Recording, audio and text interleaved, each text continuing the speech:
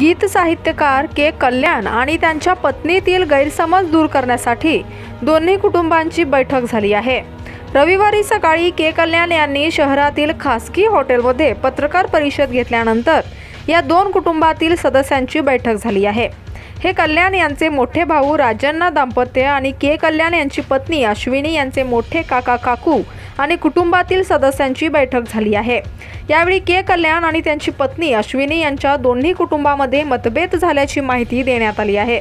यानंतर पोलीस स्थानकामध्ये के. कल्याण आणि त्यांची पत्नी अश्विनी यांच्या दोन्ही कुटुंबातील सदस्यांनी अश्विनीशी संवाद साधला असून अश्विनी यांच्या मानसिक स्थितीबद्दल जाणून घेतले आहे. यावेळी पोलीस स्थानकात मानसोपचार तज्ज्ञ डॉक्टर संदीप पाटील यांची अश्विनीचे ऑनलाईन पद्धतीने काउन्सिलिंग घेतले आहे. त्यानंतर दोन्ही कुटुंबातील सदस्यांनी के कल्याणची पत्नी अश्विनी यांच्याशी चर्चा केली असता अश्विनी यांनी आपल्या काकूला मिठी मारून डोळ्यातून पाणी आणले असता त्यांच्या काकूने अश्विनीला सांगितले की सर्व काही ठीक होईल म्हणून पोलीस स्थानकातून बाहेर आले आहेत. काउन्सिलिंग नंतर पत्रकारांशी संवाद साधारण असल्याचे अश्विनी यांनी सांगितले असल्यामुळे पोलिसांनी अश्विनी हिला पोलीस स्थानकाच्या पाठीमागून पाठविले आहे.